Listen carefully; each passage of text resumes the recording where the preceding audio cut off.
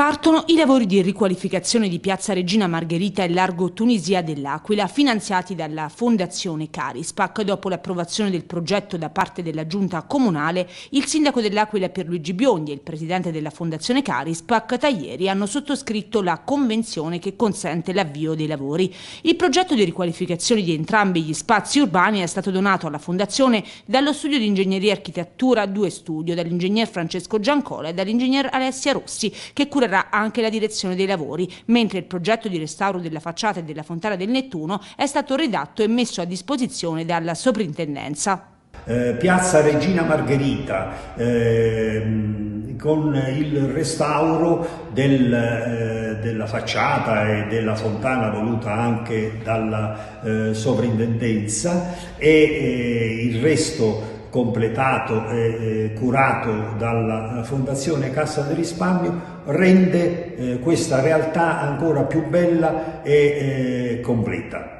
Il, la piazza naturalmente viene restituita agli antichi albori, alle, alle antiche bellezze e eh, alla fine eh, darà a questa parte della città così completata con il Palazzo della Fondazione, il, il